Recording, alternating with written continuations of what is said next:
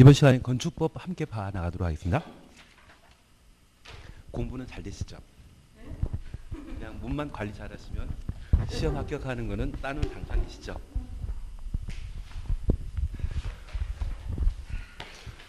가끔 운이 없게 시험장 가지 못하고 당일날 응급실 가는 분도 계시거든요.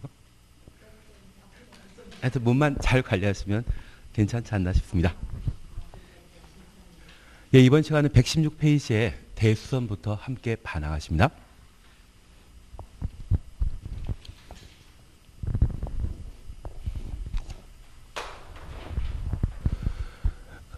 건축법에서는 적용 범위에서 부문항에서 세문항 정도를 시험에 출제하게 되는데 이 적용 대상에는 건축물과 건축물 관련 행위를 정리하시는 게 필요합니다. 건축물을 신축, 증축, 개축 등을 하게 되면 이를 건축 행위라 하고 건축물의 하자 발생하게 되면 수선하게 되는데 건축물 안전에 큰 영향 끼칠 수 있는 수선을 대수선이라 표현하게 됩니다. 그리고 최근 건축법과 관련된 개정에 따라 건축물을 대수선하거나 건축물 일부를 증축, 개축하는 것을 리모델링이라 표현하게 되는데 이러한 세 가지 행위를 하고자 한다면 기본적으로 허가권자에게 허가 받은 때 할 수 있습니다. 그리고 공사가 완료되고 사용 승인 받은 이후 개별 건축물마다 건축물 대장이 만들어지게 되면 각각의 건축물과 관련된 사용 목적이 결정되게 됩니다. 애초 목적과 달리 사용하는 것을 건축법에서는 용도 변경이라 표현하게 되는데 이러한 용도 변경은 사용 승인 이후 문제입니다. 그래서 건축 대선 리모델과 관련된 관할 관청은 허가권자입니다. 특별히 경미한 건축물에 대한 건축 대선에 대해서는 시군 구청장에게 신고하고 건축 대선할 수 있는 반면 사용 승인 이후 용도 변경은 허가권자에게 허가받거나 신고하는 것이 아닙니다. 건축물 대장을 관장하고 있는 시군 구청장에게 허가받거나 신고하도록 되어 있는데 특별히 용도 변경과 관련된 사항은 사용 승인 이후 문제라는 것을 꼭 한번 살피시는 게 필요하십니다. 예, 그래서 우리 1번에는 대선과 관련되어 1번부터 8, 8번까지에 관한 사항들을 각각 살피시는데 특별히 벽삼 계단이란 말로 8가지 대선 범위에 관한 사항들을 함께 정리해 주셔야 되고 특히 1번, 2번과 관련되어 내력벽이나 외벽 마감 재료에 있어서 수선 변경 시에는 벽면적 30제곱미터 이상 수선 변경하는 때에만 대선에 해당된다는 것 눈에 익혀놓습니다. 그리고 3번 경계벽이라는 말 보셨는데 이 경계벽 앞에는 다가구택과 다세택이라는 것을 보셔야 됩니다. 만약 아파트 연립주택 또는 공동택의 경계벽을 증설, 해체, 수선 변경하는 것 그걸 대손이라 한다.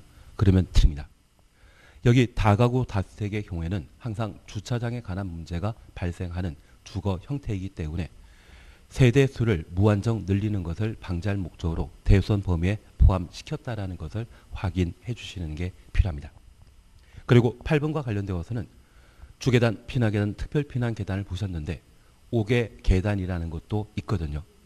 5개 계단은 대선과 하등 관계 없다라는 것만 파악해 놓습니다. 그리고 양가로 2번 용도 변경에 관한 내용을 함께 보십니다. 사용승인 받은 건축물의 용도를 변경하려는 자는 시군 구청장에게 허가 받아야 된다. 이때 시군 구청장은 허가권자입니까? 건축물 대장 관할 관청입니까? 건축물 대장에 대한 관할 관청이라는 것을 구분하셔야 됩니다. 올해 용도 변경에 관한 문제가 시험에 나올 해인데 시험에 나오게 된다면 29개 건축물의 용도를 9개 시설군으로 분류하고 있거든요. 그래서 자산 전문 연경 근죽이란 말을 항상 기억하시는 게 필요합니다. 그리고 우리 항상 수업하시면서 문화 집회시설군과 관련되어서는 문종 위관이라는 말로 대신했고 영업시설군과 관련되어서는 답한 운수였습니다. 교육 복지시설군과 관련되어서는 노교수의 야 이렇게 정리한 적이 있습니다. 그것 토대로 정리해 나가시는 게 필요합니다. 특별히 산업 등의 시설군과 관련되어 우리 운수시설이라는 말 보셨는데 답한 운숙의 운은 운동시설이고 운수시설은 인천국제공항이나 서울역 등을 말하는 것으로서 얘는 2차 산업과 관계된 내용으로 파악해 놓습니다. 그리고 묘지 관련 시설이라 함은 화장터가 보일러를 이용하거든요. 그와 관계된 사항으로 산업 등의 시설군에 분류하고 있다. 그렇게 판단해 놓습니다. 그래서 시설관하고까지와 관련되어서는 자산 전문 연구 건축이란 말로 각각 해결해 주시는 게 일이십니다. 그리고 3번은 용도 변경 시에 건축 절차 준용에 관한 내용을 각각 다루게 됩니다. 설계에 관한 사항과 사용성에 관한 내용을 각각 다루게 되는데 우리 3번에 허가 대상이란 말 동일해 놓습니다. 허가 대상으로 바다 면적합 500제곱미터 이상의 경우는 건축사 설계에 관한 규정을 준용한다. 건축 절차의 일부 준용과 관련되어 용도 변경에 있어서는 허가 외에 신고, 건축물 대장에 대한 기재사항 변경 신청 그리고 같은 용도 상환의 건축물 용도 변경 시에는 기재사항 변경 신청마저 필요 없었습니다. 여기 용도 변경과 관련된 대상이 바다 면적합 500제곱미터 이상인 때 허가 대상이라고 하면 하위 설군에서 상위 설군으로 용도 변경하는 것으로 건축물 구조를 강화하는 공사를 실시하게 됩니다. 그래서 없던 기둥 하나 두 개 더 세우게 되는데 그것 용도 변경하는 자 마음대로 하는 것이 아니라 건축사인 설계자가 설계해 주는 대로 기둥 세우라는 의미입니다. 그래서 만약 신고 대상으로서 바다 면적합 500제곱미터 이상일 때 설계에 관한 규정 준용한다. 이 말 나오면 드립니다. 뭐만? 허가일 때만. 신고는 상위 설군에서 하위 설군으로 용도 변경하는 것으로 있던 기둥을 없애버리는 거거든요. 기둥 없을 때 설계 도면에 따라 없애버린다. 그냥 없애버린다. 그냥. 그래서 설계에 관한 사항은 허가 대상이란 말과 500이란 말을 함께 했을 때만 설계에 관한 규정을 준용하도록 되어 있습니다. 그리고 4번 사용 승인 준용에 관한 사항으로 2년 전에 개정되었는데 아직 시험에 안 났거든요. 허가나 신고 대상의 경우로서 용도 변경하는 부분의 바다 면적합이 100제곱미터 이상의 경우는 사용 승인 준용한다. 사용 승인 받아라는 양입니다. 다만 그 사용 승인 대상 중에 용도 변경하려는 바다 면적합이 500 미만으로 로서 동그래 놓습니다. 엔드 개념이죠. 대손에 해당되는 공사 소판하지 아니하는 아니야 하는 추천 없습니다. 대손이다 아니다. 아닙니다. 그런 경우는 사용 승인 받을 필요 없다. 그걸 정리해 주시는 게 필요합니다. 그래서 우리가 잠깐 구분하실 것이 있습니다. 건축물 대장에 대한 기재상 변경 신청 대상이라면 같은 시설군 내 용도 변경이거든요. 그래서 문종 위반에 있어서 문화 집회시설에서 종교시설로 용도 변경하는데 그 바다 면적합이 1000제곱미터 있을 때 설계 받아라, 사용 승인 받아라 이 말 나오면 다 틀립니다. 문화 집회 시설에서 종교시설로 용도 변경하게 되면 동일한 시설군 내 용도 변경으로 허가 신고 대상 아니거든요. 그 면적이 1000이었을 때 사용 승인 받아라 이 말 나오면 틀린 것으로. 그래서 허가 또는 신고 대상으로 바다 면적합 100제곱미터 이상의 경우는 사용 승인 받도록 돼 있지만 100 이상 500제곱미터 미만이고 용도 변경과 관련된 공사 도중에 기둥 하나 베어내면 기둥의 증설 해체 그리고 세개 이상 수선 변경한 것이죠. 기둥 하나 베어내게 되면 그 자체가 뭐다? 대손이지 않습니까? 기둥 베어내지 않고 기둥을 수선 정도만 또는 위치를 두 개 정도 위치 변경하게 되면 대손 아니죠. 그런 특별한 경우에는 100 이상이라 할지라도 사용 승인 따로 받을 필요 없다는 이야기입니다. 그래서 사용 승인 대상으로 바다 면적합 500제곱미터 미만으로서 대수선을 수반하지 아니하는 대수선에 해당되지 않는 공사가 이루어졌다고 하면 그러한 용도 변경에 대해서는 사용 승인 받을 필요 없다. 그걸 정리해 주시는 게 필요합니다. 만약 대수선에 해당되는 공사라고 하면 그때는 사용 승인 받아야 되고 500 미만의 말과 대손에 해당되지 아니하는 두 가지 요건을 충족한 때만 사용 승인 대상에서 제외시킨다. 그걸 정리하시는 게 필요합니다. 그리고 3. 리모델과 관련되어서는 충분히 우리 파악할 수 있을 겁니다. 대손, 증축, 개축 이 세 가지 개념이 리모델링에 해당된다. 그렇게만 구분하십니다. 3번 건축 분쟁 전문위원회는 건축물 건축과 관련된 개인과 개인 사이에 분쟁이 발생하게 되면 그 분쟁을 조정하는 기구가 건축 분쟁 전문위원회이거든요. 그래서 1번부터 6번까지 눈으로 쭉 보시면 개인과 개인이죠. 행정청과 국민 사이의 관계가 아닙니다. 만약 행정청에 위법, 부당한 행정 처분이 있다면 심지어 정비사업조합이 정비사업과 관련된 위법, 부당한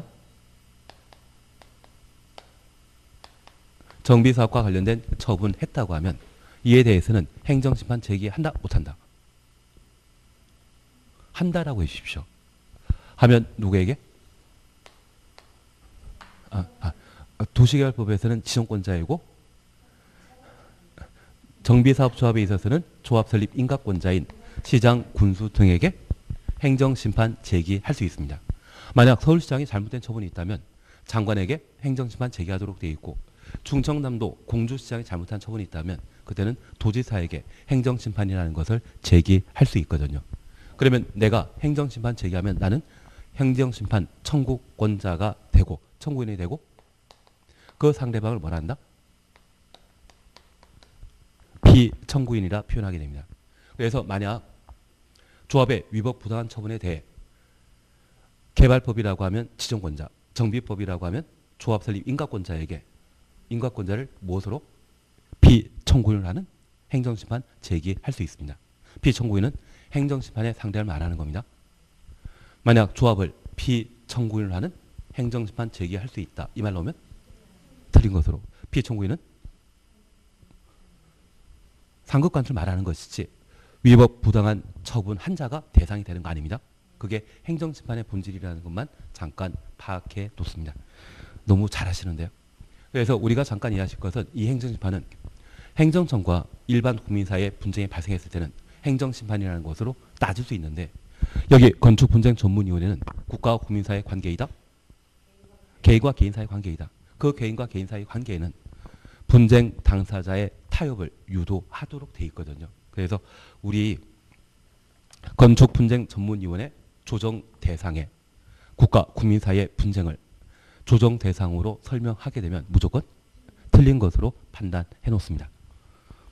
그리고 3번입니다.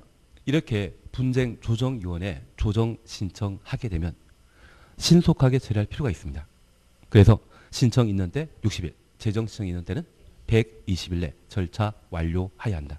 그래서 우리 조정과 재정이란 말을 구분하기 좀 애매할 수 있는데 소송 제도는 삼심제시지 않습니까? 그래서 첫 번째 개인과 개인 사이에 타협을 유도하는 것이 1심에 해당되는 조정이면 두 번째 하는 것을 재정으로 파악하시고 조정 시에는 처리 기간이 60일인 반면 재정과 관련되어서는 그 두부에 120일 내 조정 아 재정 절차를 완료해야 한다. 그렇게 기간 구분만 해놓습니다. 그리고 제 2절 건축 절차 함께 보십니다. 양가 1번 신청 사셨죠. 그리고 동그라미 1번 그냥 재미로 보시면 사전 결정 신청과 관련되어서는 작년에 사전 결정 의제 사항을 시험에 낸 적이 있습니다.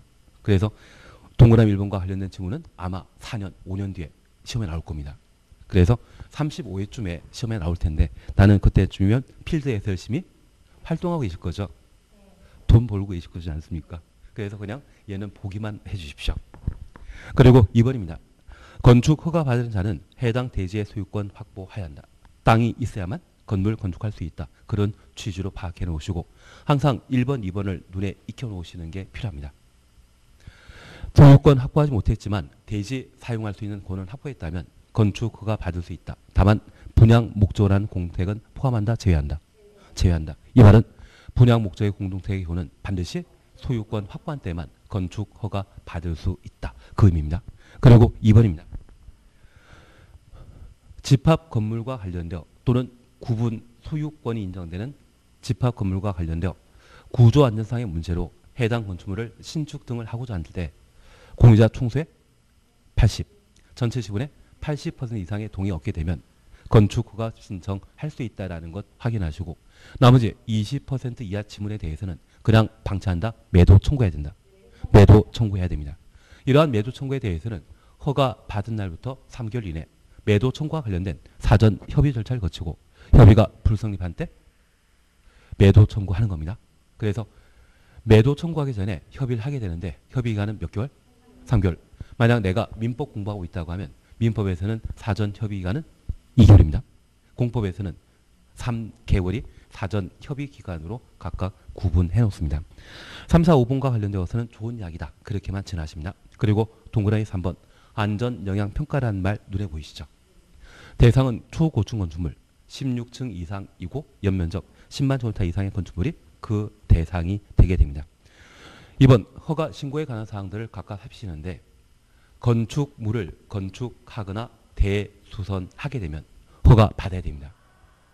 경미한 건축에 대한 건축 대수는 신고할 수 있습니다. 그 신고에 관한 사항이 동그라미 1번에 쭉 나와 있는 겁니다. 한 장 넘기십니다.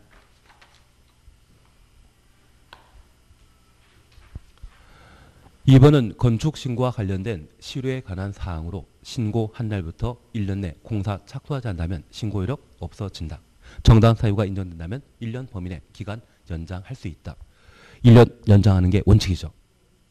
공법상 딱 하나만 2년 연장입니다. 개발 행위 허가 제한과 관련되어 기지 개만 기반설 부담구역과 지구 단위 계획구역 지정됐다면 도시 계획위원회 심의 없이 심의 없이 1회 2년 범위 내 기간 연장할 수 있다. 연장하면 1년 연장이 원칙입니다. 2년 연장하는 것은 딱 하나. 기지개만 가능하다라는 것 확인해 놓습니다. 3번은 특광이 건축 허가 사항에 관한 사항인데 우리 친숙한 숫자 보이시죠? 21층과 연 면적 합계가 10만 제곱미터 이상. 공장 창고는 포함한다, 제외한다. 제외한다. 그리고 4번은 사전 승인에 관한 사항인데 천천히 하시면 되고 그리고 5번부터 6번이 건축 허가 등의 제한입니다. 건축 허가 제한 지역으로 지정하게 되면 최대 3년 동안 건축 허가 착공 신고가 이루어지지 않습니다. 그리고 7번은 필수적 건축과 취소에 관한 내용을 각각 다뤘습니다. 잠깐 예를 보십니다. 건축법에 따라 내가 살 집을 만들고자 한다고 하면 그냥 만드는 것이 아니라 허가라는 걸 받도록 되어 있습니다. 저 허가를 받고자 한다고 하면 건물 건축하기 위한 대지에 대한 소유권이나 지상권 등의 사용권을 확보한 때만 건축허가 신청할 수 있다는 것 기억해 놓습니다. 다만 이런 건축허가 신청 전에 내가 미래에 취득할 수 있는 땅 또는 내가 지금 소유하고 있는 땅이지만 나는 공법과 관련된 내용 전혀 모르기 때문에 어떤 건물 건축할지 몇 층짜리 건물 건축할지 전혀 모르는 상태라고 하면 허가권자에게 사전 결정 신청할 수 있다라는 것 파악해 놓습니다. 특별히 건축허가 신청과 관련되어서는 사전 결정 신청과 달리 본 절차가 진행 중이라는 것 기억해 놓으시고 특별히 대지에 대한 소유권이나 사용권 확보하면 건축 가능한데 이때 소유권 사용권은 100%를 말하는 것이죠. 오직 소유권 과촌 때만 건축허가 신청할 수 있는 것은 분양 목적의 공동택. 나중에 큰 사기 한번 치고 외국으로 도망가고 보시고 생각이 있으시다면 분양 목적의 공동택은 이제 안 되지만 분양 목적의 상가는 충분히 가능하거든요. 예, 그런 나쁜 짓은 하지 말자. 대신 예, 그냥 넘어가겠습니다.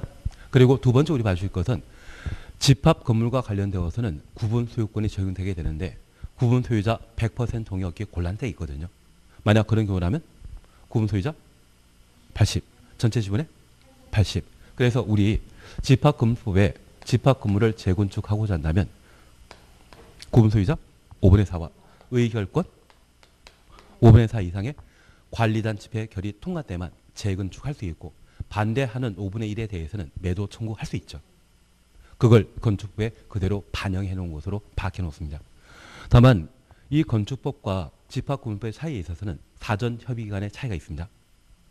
허가 받은 후 매도 청구할 수 있는데 매도 청구하기 전에는 사전 협의해야 되죠. 그 사전 협의 기간은 건축부에서는 3개월로 정해져 있다는 것만 기억하시고 만약 민법을 워낙 공부 열심히 하셨다면 민법 생각에서 2개월로 오면 틀려줄 수 있는 상황일 겁니다. 그것만 잘 구분하시면 됩니다. 그리고 두 번째 허가와 관련되어서는 허가받아 건축할 대상은 건축물을 건축하거나 대손하는 것이 그 대상이고 그러한 건축물이 만약 작은 건축물이라면 신고하고 건축 대수선할 수 있습니다. 특별히 건축행위와 관련된 사항, 대손과 관련된 행위를 우리가 각각 구분하시면서 기본형과 확장형으로 구분한 적이 있거든요. 연면적 100제곱미터 이하의 건축물을 건축하고자 한다면 신고하고 건축할 수 있고 바닥 면적합 85제곱미터 이내 증축, 개축, 재축, 신고 대상입니다. 다만 올해도 건축법이 네 번 바뀌었거든요. 예. 한 시간 끝나면 아마 올해 어제 어, 지난주까지 개정되었던 것 자료 하나 만들었거든요. 그걸 한번 봐주시면 됩니다. 그걸로 또 수업하시면 됩니다. 예, 계속 개정되는 것이 특징인데 특별히 100조미터의 건축물 건축이 신고 대상이지만 관리 지역, 농림 지역, 자연 환경 보전 지역이라면 연면적 200 미만이고 3층 미만 건축물 건축을 신고하고 건축할 수 있습니다. 다만 이런 관동자가 지구 단위 계획 구역에 해당되더라도 해당되는 경우에는 제외한다라는 것 기억해 놓습니다. 다만 우리가 기억하실 것은 연면적 100km 이하의 건축물 건축은 도시역이건 지구 단위 계획구역이건 얘는 기본형이거든요. 그래서 장소와 관계없이 항상 신고 대상이 되게 됩니다. 그래서 지구 단위 계획구역인 농림지역에 지구 단위 계획구역인 계획관리지역에 연면적 100km 이하의 건축물 건축은 100 이하 건축물 건축은 허가 대상이다, 신고 대상이다. 걔는 신고 대상. 다만 지구 단위 계획구역에 100 초과하는 100 초과하는 건축물이라면 그때는 허가 대상으로 구분하십니다. 그리고 나는 오리 공장이라는 말도 들어본 적이 있습니다. 2층 이하로서 연면적 500제곱미터 이하의 공장 건축은 신고하고 건축할 수 있다는 것 기억해 놓으시고 높이 3m 범위 내 증축 신고 대상이라는 것 구분해 놓습니다.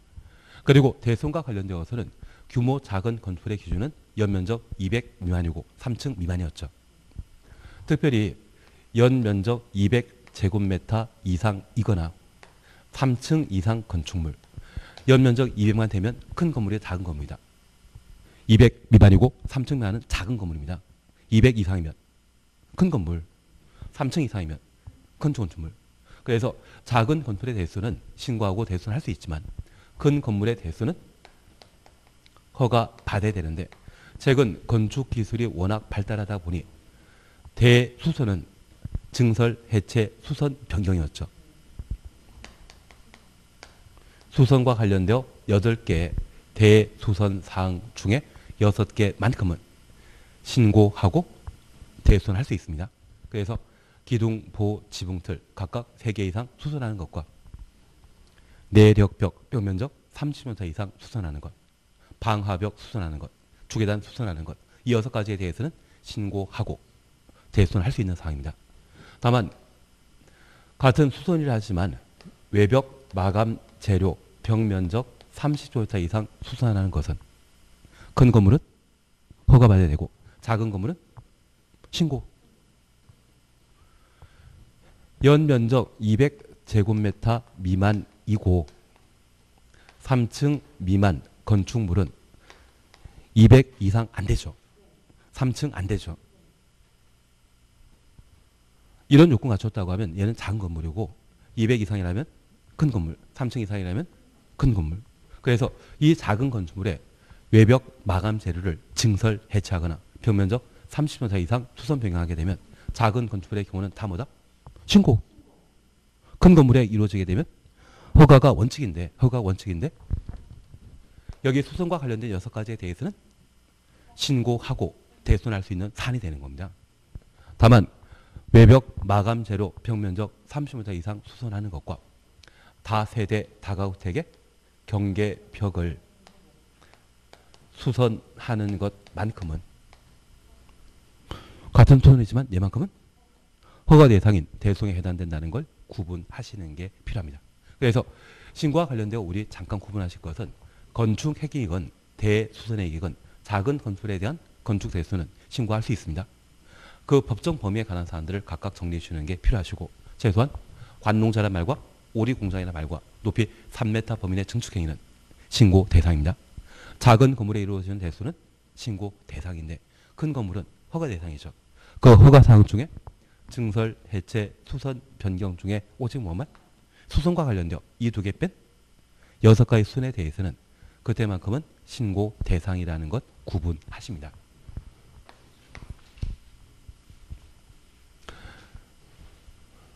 건축신고와 관련된 실효사항을 함께 정리하시면서 건축신고자는 1년 내 공사 착수해야 되고 착수 안 하면 효력 상실한다. 정당 사유가 인정되면 1년 범위 내 기간 연장할 수 있는데 우리가 지금까지 함께 공부하시면서 착공하면 2착이죠. 1착 건축신고입니다. 3착 공장 건축 허가받은 때 5착과 관련되어서는 주민 입안 제한한 지구 단위 계획이 결정되었을 때 특별 건축구역 주택법상 사업계획 승인받게 되면 5착이죠. 오늘 한번 하고 할 만한지 못 해먹을 것인지 한번 판단하시는데 열 중에 아홉 분은 아, 열 중에 아홉 분은 주택법 쉽다고 합니다. 건축법 잘 되면 건축법 잘 되면 주택법 쉽다고 합니다. 그리고 절차에 관한 사항들을 함께 보시는데 이러한 건축 대선에 대해서는 허가권자에게 허가 받도록 되어 있습니다. 허가권자는 우리와 가장 가까운 시군 구청장이 원칙인데 예외적으로 특광이 건축 허가하는 경우가 있습니다. 특별시 광역시는 자신의 관할 구역인 특광에 21층 이상이거나 연면적 10만 제곱미터 이상의 건축물을 건축하는 때 특광이 건축 허가권자인데 우리가 잠깐 이해하실 것이 있습니다. 연면적 10만 제곱미터 이상의 건축물을 새로 건축하게 되면 기반설 필요하다 필요 없다. 새로운 기반설의 설치가 필요하고 서울이나 세종시에 기반설 설치에 대한 권한은 구청장이 행사한다, 서울시장이 행사한다. 우리 개발행위 허가는 기반설과 관련된 한이었죠. 개발행 허가권자는 누구이다? 특광시군. 그래서 큰 건물의 경우는 새로운 기반설의 설치가 필요하기 때문에 서울에 새로운 기반설을 설치할 수 있는 권한은 구청장이 가지고 있다? 서울시장이 가진다. 서울시장이. 그래서 나는 지금까지 시립병원은 보신 적이 있고 시립대학은 본, 본 적이 있는데 구립대학이나 구립병원 본 적이 있다? 난 세종에 살고 있기 때문에 모른다? 구립대학 없습니다. 구립대학 없습니다. 그래서 그 대학 자체가 교육시설과 관련된 기반설에 해당되는 것으로서 그 기반설을 큰 건물의 경우는 새로 설치할 필요가 있거든요. 그건 누가? 특광이 관할 관청이기 때문에 이러한 건축에 대한 허가 권자는 특광이 되는 겁니다. 다만 특별시장 광역시장 다만 이런 건축물을 대순하게 되면 새로운 기반설을 설치할 필요 없기 때문에 없기 때문에 건축 행위만 특광이고 제2 롯데월드를 대수선하게 된다고 하면 그때는 송파 구청장이 관할 관청이 되게 됩니다. 그래서 특별시 광역시라는 장소에 21층 이상의 연면적 10만 제곱미터 이상의 규모 건축 대선 중에 뭐만 건축 행위를 하고자 한다면 그때는 특광이 허가권자라는 것 구분해 놓습니다. 그걸 정리하시는 게 필요합니다. 그리고 이러한 규모의 건축물이 할지라도 건축물의 용도가 공장, 창고의 경우는 포함한다, 제외한다. 특과인 건축가 대상에서 제외시켜 시군 구청장이 허가권자라는 것 봐주시는 게 필요합니다. 그래서 우리 118페이지의 3번과 관련되어서는 특별시장 관시장이 건축 허가하는 사항으로서 장소에 관한 사항과 21층 연면적 10만 제곱미터 이상 건축 행위만 대상이죠. 공장 창고는 포함한다, 제외한다, 제외한다. 그걸 정리해 주시는 게 필요합니다. 다만 이런 건축물을 도에 속해 있는 시군에 건축하고자 하면 시장 군수가 건축 허가권자인데 시장 군수는 이런 건축물에 대한 건축 허가 시에 미리 도지사의 승인 받아야 되거든요. 그래서 도지사 사전 승인과 관련된 대상으로 세 가지를 눈에 익혀놓습니다. 그 중에 우리가 꼭 기억하실 것은 이런 규모의 건축물을 도에 속한 시 군에 건축할 때 그 목적이 공창이라면 도지사 사전 승인 받을 필요 없다. 그것만 잘 챙겨놓습니다. 그리고 재미로 보시는 게 2번입니다. 자연환경이나 수질보호, 자연환경 수질보호 가로 해놓습니다. 도지사가 지정 공간 구역 가로 해놓습니다. 도지사가 지정 공간 구역에는 관할 관청은 시장 군수이다 도지사이다. 도지사입니다. 도지사 지정 공, 지정 공고한 장소라고 하면 도지사가 관할 관청이 되게 됩니다. 3층 이상 또는 연면적 합계가 1000제곱미터 이상의 위락시설, 숙박시설, 공동택, 일반 음점, 일반 음점, 어, 일반 업무시설 다섯 가지가 도의사의 사전 승인 대상이라는 것 살펴놓으시는데 얘는 재미로 기억하십니다. 우리 어릴 때 간첩 잡아 집안 살림 펴드리려고 간첩 찾으라고 노력해 본 적 있는데 포스트만 하다 항상 뿔 날려 있고 얼굴 빨가신 분이 간첩이었거든요. 그런 분 안 계시더라고요. 대신 그 간첩이 자수를 하게 되면 3천만 원 받았습니다. 그래서 자수에 3천.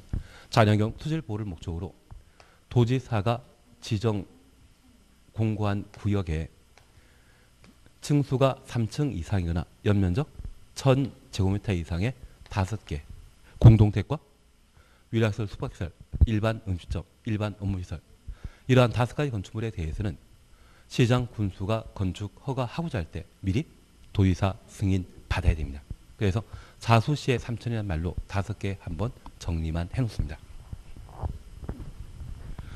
그리고 5번, 6번과 관련되어서는 건축 허가 등의 제한이라는 말만 기억해 놓으시고 제한 기간은 2년 이내로 하고 이래 1년 범위 내 기간 연장할 수 있다. 그리고 7번은 건축 허가는 원칙적으로 임의적 취소를 원칙으로 하는데 딱 네 가지 경우에는 필수적 건축 허가 사유입니다. 허가받고 2년 내 공사 착수하지 않거나 가로 속에 공장의 경우는 3년. 법정 기간 내 공사에 착수했지만 공사료가 불가능한 경우 착공 신고 전에 경매 등의 방법으로 대지 소유권 상실한 때부터 6개월 경과토록 공사 착수가 불가능하다 판단하면 건축가 취소 하여야 한다. 그래서 만약 허가받은 날부터 2년 내 공사에 착수하지 않다면 허가권자는 건축 허가 취소할 수 있다 라고 하면 드립니다. 취소하여야 한다. 강행 규정이라는 것만 각각 살펴놓습니다. 그리고 8번, 9번, 10번부터 별 필요 없습니다. 신경 쓰지 말자. 대신 8번은 가설 건축물에 관한 사항인데 가설 건축물은 영원히 사용할 수 있다? 예, 존치 기간이 존속 기간이 제한됩니다. 존속 기간은 3년으로 제한하고 있습니다. 그 가설 건축물을 연장 사용하고자 한다면 기간 만료일 지금 14일, 14일하고 7일 있지 않습니까? 박스에 14일하고 7일 있지 않습니까? 나는 14일과 7일 본 적 없이 그냥 3월, 1월 이야기 하시니까 대신 그냥 보십니다. 허가 대상의 경우는 14일 전에 연장허가 신청해야 되고 축조 신고 대상 가설 건축물의 경우는 연장 사용하고자 한다면 만료 예정일 7일 전에 연장 신고한다. 그렇게만 눈에 익혀놓습니다. 예, 그리고 제3절 건축 제한 함께 보십니다. 그래서 우리 잠깐 구분하실 것은 건축 절차와 관련되어서는 1단계는 대지에 대한 일정한 권리 갖춘 때만 허가받을 수 있다는 거 기억하시고 허가와 관련되어서는 대상에 관한 구분하시는데 특별히 경미한 건축물에 대해서는 신고하고 건축할 수 있죠. 그래서 건축물과 어, 건축 행위와 대선에 관한 사항을 각각 구분하시는 게 필요하며 특별히 건축 신고하고 1년 내 공사 착수하지 않다면 건축 신고에 대한 효력은 없어진다. 허가권자에 대한 구분하셨습니다. 허가권자는 우리와 가장 가까운 시, 군, 구청, 장인데 예비적으로 특강도 허가권자가 될 수 있습니다. 국도, 국토교통부 장관이나 도의사는 허가권자 이다 아니다. 아니다. 그것 정리하시는 게 필요합니다. 그리고 우리 그냥 재미로 다시 하나 보시는데 안전영향평가라는 말 기억나십니까? 안전영향평가 대상은 초고층 건축물이거나 16층 이상으로 연면적 10만 제곱미터 이상의 건축물. 그래서 16층 이상이고 연면적 10만 제곱미터 이 두 가지 조건을 충족한 때 안전영향 평가 대상이라는 것 구분해 놓습니다. 그리고 건축 절차와 관련된 사안으로 우리 건축 허가받아 분양하게 되면 사적 이익이 발생할 수 있거든요. 그런 사익이 공익에 충돌하게 되면 규제를 가할 수 있습니다. 규제 가하는 방법으로서 허가 등을 제한하거나 사전 승인하거나 그리고 허가를 취소하는 그 세 가지에 대해서 우리가 정리하신 겁니다. 그걸 살피시는 게 허가와 관련되어 시험에 나올 최대 범위인데 보통 시험에 나오게 되면 우리가 방금 보셨던 이 정도만 시험거리가 되게 됩니다. 그리고 허가받은 자가 공사 개시하고 그 공사가 완료되면 뭐 받아야 된다? 사용 승인 받아야 되는데 여기 사용 승인과 관련된 처리 기한은 7일. 사용 승인 신청하면 허가권자는 검사 실시하고 합격한 때는 사용 승인서를 발급하도록 되어 있습니다. 사용 승인서 발급된 건축물의 경우는 건축물 대장 만들로 되어 있죠. 대장은 누가 만든다? 허가권자가 시군구청장이 시군구청장이 허가권자를 표현하면 특광이 포함된다라는 것만 다시 가능하십니다. 이게 절차입니다. 여기에서 보통 두 문제 나오거든요.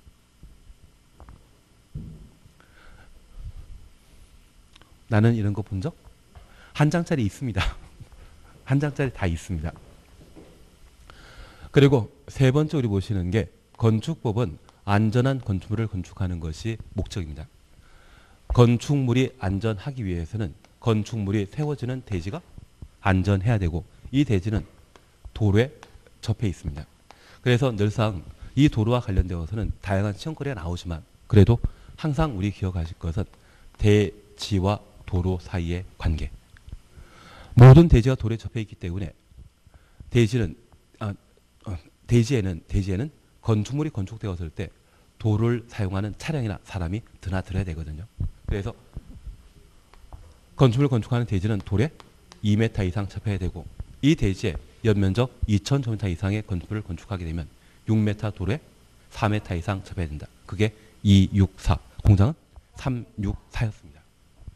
그리고 모든 대지가 돌에 직접 접해 있다면 대지와 도로 경계선을 건축선이라 하고 그 건축선을 침범하는 건축 계획은 한다 못한다. 못합니다. 다만 지표 아래의 경우에는 예외 인정한다 그 정도를 봐주시는 게 필요합니다. 그리고 대지와 관련되어서는 조경에 관한 사항들을 함께 보시는데 나무 심는 거죠. 그래서 60평 이상의 대지, 면적 200제곱미터 이상의 대지에는 조경하여 하고 공장과 관련되어서는 5천 미만이야 말과 연면적 1,500제곱미터 미만, 물류시설과 관련되어서는 연면적 1,500제곱미터 미만인 때 조경 의무 생략하지만 저 물류시설이 주거적 상업지역에 건축되는 경우는 조경 대상이 되게 됩니다. 그것 정리하시는 게 필요합니다. 그리고 건축물과 관련되어서는 건축물을 구성하는 형태가 구조 설비입니다. 그래서 구조와 관련되어서는 안전과 관련된 사항들을 항상 정리해 주시는 게 일부 필요하고 올해 개정된 사항을 정리해 주시는데 나는 구조안전 확인 서류 제출 들어본 적 있다? 표준 설계 도서에 따라 건축된 경우는 확인 서류 제출 대상에서 제외시킵니다. 그게 올해 개정되었습니다. 그리고 화재 발생한 건물에 소방관이 진입하여 인명 구조를 필요로 하기 때문에 소방관 진입창에 관한 사항들을 올해 개정했습니다. 불과 관련된 건축물은 몇 층이다? 11층. 다만 소방서에 배치되어 있는 고가 사다리 차량은 25층에 도달한 아닙니다. 몇 층?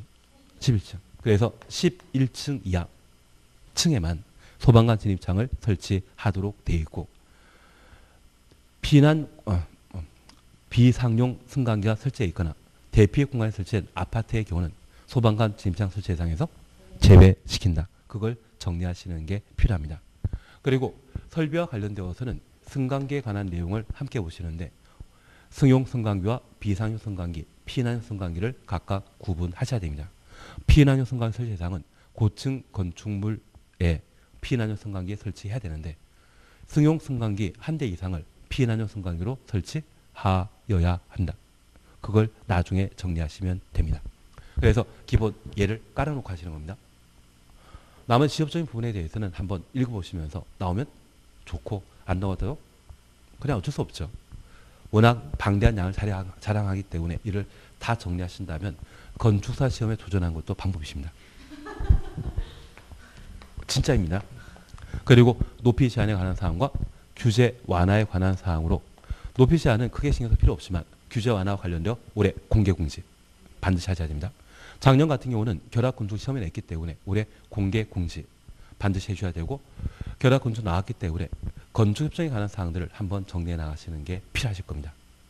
그 정도를 해주시는 게 이쪽이고 이러한 건축 제한 규정을 모든 건축주가 준수해야 되는데 위반한 건축물은 철거 등의 시정 명령 대상이며 시정명령에 불응한 때는 무엇? 이행 강제금 부가 징수 대상이 되게 됩니다.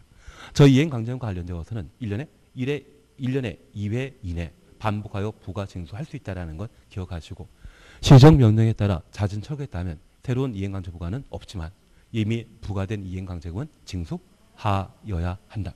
그리고 이행 강제금을 절반 감경해 주는 게 있습니다. 연면적 80보다 60이다. 이번에 개정되어서 60입니다. 연면적 60 이하의 주거용 건축물. 그냥 60만이 문제가 아니라 주택, 주거용 건축물의 경우는 이행 강제금 2분의 1 감경 대상이 된다라는 것 정도만 구분해 놓습니다. 잘 하시는데요. 본 느낌은 있다. 그리고 잠깐 쉬었다가 또 보자. 잠깐 쉬었다가 또 보자.